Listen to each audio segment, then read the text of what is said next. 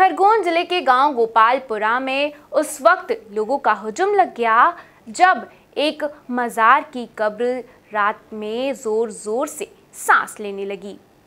कब्र के सांस लेने की खबर जैसे ही गाँव में फैली तो गाँव में सुबह तक, दूर दराज तक के लोग आने लगे।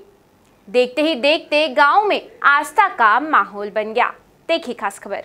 हम आए दिन कुछ ऐसी खबर सुनते हैं जिस पर विश्वास कर पाना मुश्किल भरा होता है।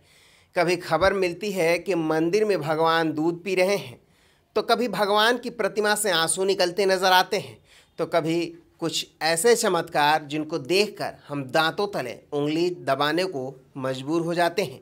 वहीं खरगोन ज़िले के गाँव गोपालपुरा में एक ऐसी घटना सामने आई जहाँ 100 साल पुरानी मज़ार की कब्र रात को अचानक ज़ोर ज़ोर से सांस लेने लगी। ग्रामीणों को जैसे ही मज़ार की दोनों कबर से सांस लेने का पता चला तो मज़ार पर लोगों का हजूम उमड़ पड़ा।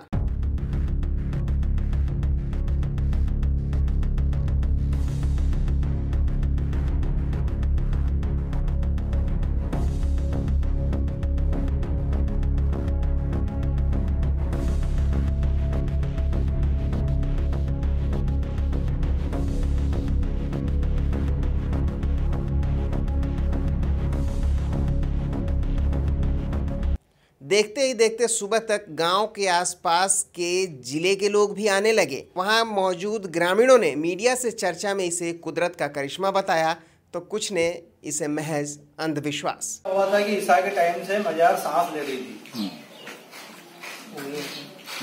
यहाँ पर ये समझो कि भीड़ आधी से ज़्यादा खरगोन पे आ चुकी थी। ये आवाज़ तो सांस ले रही थी आवाज़ तो नहीं आ रही थी पर ऊपर नीचे कवर हो रही थी। शेख अब्दुल कादर जिलानी रहमतुल्ला ये सब सौ साल से ऊपर की जी पहली बार ही ऐसा हुआ ये सब जो कि आठ बजे से लेके तो रात के ढाई बजे तक के ये कुदरत का करिश्मा मानते हैं। वजह सांस मज़ार ले रही थी बहुत सारी पब्लिक आई थी और ये मज़ार करीबन सौ साल पुरानी है। नाम है अब्दुल कादर जिलानी। ये दूसरी बार हुई। है आज के आठ रोज पहले भी ये घटना हुई थी सुबह फजर की नमाज़ के टाइम पे। इसका करिश्मा है या फिर हो सकता है कि कुछ गलतियाँ हुई हो। आवाम से यहाँ के जो रहने वाले उनसे कोई गलती हुई इस वजह से भी हो सकता है। हाँ नाराज़गी भी हो सकती है। साफ़ सफ़ाई चल रही कर दी साफ़ सफ़ाई। मतलब वो इंसान के साथ सांस लेता और पेट नीचे ऊपर होता है ऐसा मतलब पूरा सीना उठता था उनका सीने के पास पास से। जैसा हार डाले थे हार पूरे उठ जाते थे और फिर वापस दबते थे जहाँ ग्रामीण इसे आस्था का केंद्र बता रहे हैं वही तर्कशास्त्री अजय नारमदेव जो कि खुद को वैज्ञानिक कहते हैं उन्होंने इस घटना की वैज्ञानिक पुष्टि करना ज़रूरी बताया। साथ ही कहा कि लोगों की धर्म के प्रति आस्था ज़रूरी है लेकिन किसी के ढकोसला करने वालों पर प्रशासन से कार्रवाई करने की बात कही। हाँ हाँ बहुत कुछ होता है। मतलब ये कोई पहली घटना नहीं है। अगर आप मेरे पास बैठेंगे तो मैं अभी तीन घंटे ऐसी बहुत सारी घटनाएँ सुना सकता हूँ, है ना? तो इसमें कोई तंत्र नहीं है और लोगों को आस्थाएँ बना के रखना है। दुनिया में अगर धर्म रहेगा तो नैतिकता रहेगी। जिन घरों में भी देव स्थापनाएँ है, वहाँ के लोग कभी गुनाह नहीं करते, अपराध नहीं करते, वो बड़े सात्विक होते हैं। तो विज्ञान, खाली विज्ञान की बपोती ना रहे। लोग धर्म आस्था से भी जुड़े रहे पर अगर आप बीमार है तो आपका इलाज धर्म नहीं कर सकता।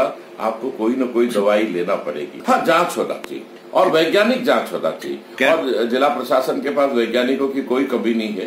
वो उसकी व्यवस्थित जाँच करा करके सच्चाई सामने लाना चाहिए। और जिन लोगों ने इस प्रकार का ढकोसला करा उनके खिलाफ सख्त कानूनी कार्रवाई भी होना चाहिए। कुल मिलाकर ग्रामीणों ने इसे चमत्कारी घटना मान लिया और मजार पर लोगों की भीड़ जमा हो गई। गाँव गोपालपुरा के ग्रामीण सहित पास के जिलों के लोगों में भी रिपीट गाँव गोपालपुरा के ग्रामीणों सहित पास के ज़िले के लोगों का भी हुजूम मजार की दोनों कबर पर चादर और फूल चढ़ाकर प्रार्थना कर रहा है। हालाँकि एमपी न्यूज़ ऐसे किसी भी अंधविश्वास भरी घटना को बढ़ावा नहीं देता। Bureau report MP news Khargone. ये अपनी तरफ़ से जोड़ दी एक लाइन। ठीक रहेगा ना?